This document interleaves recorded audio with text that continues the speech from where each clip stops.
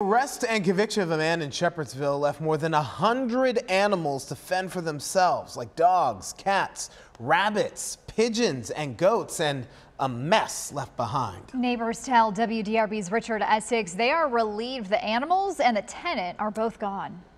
The guy that was renting this property had no trespassing signs all over the place. He doesn't want anybody on the property.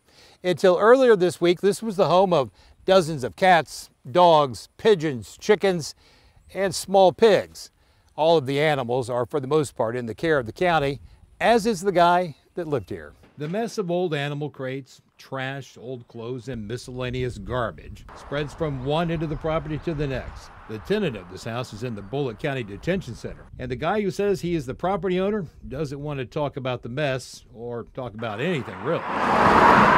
We went to the house with questions, and this is how we were treated. I'll grab that camera, tear it all pieces if you don't get the hell out of here. You think that? I'll grab that and tear it all I pieces. wouldn't if I were you. Yes, I will too. You touch.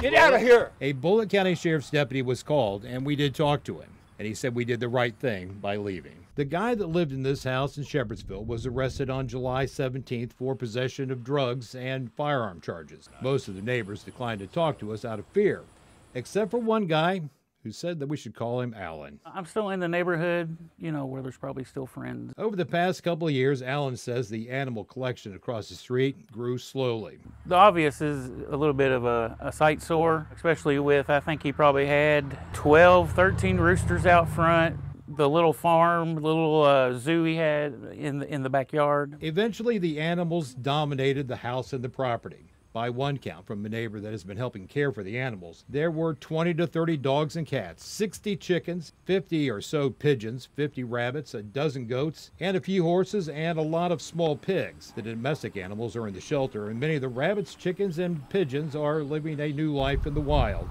And at least one pig is still roaming the neighborhood. He came in the yard, uh, and my dog uh, barked at him through the door and chased him off. Uh, I believe he was over there for a while. I've seen him walk down the road. And we saw what we believed to be that one pig run into the woods. Got a good belly. The Bullitt County Animal Control Office told me that they plan to file additional charges against the former tenant. The property owner is left with a mess to clean up, always hope for good neighbors. which the neighbors told me is a long time past due. With photojournalist Zebanique Petty, Richard Essex, WDRB News.